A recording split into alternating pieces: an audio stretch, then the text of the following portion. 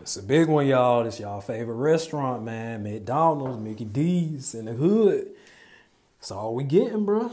You feel me? Um, had to make this, man, to warn y'all, bro. Look like y'all might not need to touch them quarter pounds and touch McDonald's at all. Let's see what they talking about. Talking about an E. coli break, an E. coli outbreak or something like that. Let's see.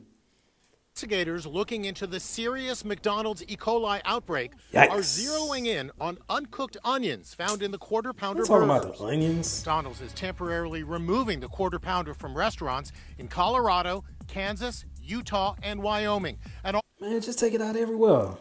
Show over here picking uh, certain ones. Just take it out everywhere. also from some restaurants in eight other states.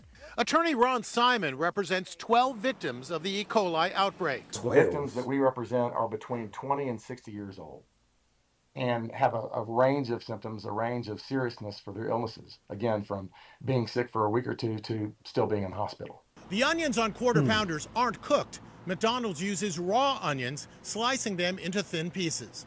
Food safety expert Donnie Yu. How is it possible for the raw onions on the quarter pounder to become contaminated? We have to understand they're coming from a field.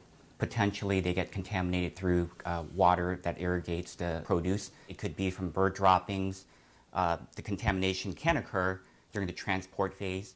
Considering the E. coli outbreak, many fans of McDonald's are today wondering why not cook the onions. Raw onions are crunchier, you know, and uh, they're, and then cooked onions have that you know different flavor profile. Today, the president of McDonald's is assuring its customers. It's important to note that the majority of states and the majority of menu items are not affected. Experts say don't panic. The Would you feel safe eating a quarter pounder? Uh, um, I, I would feel safe uh, as long as I know that they've identified the source and it was definitive. No, you don't feel safe.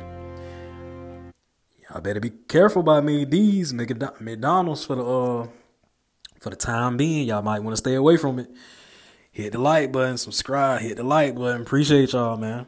Just want to let y'all know.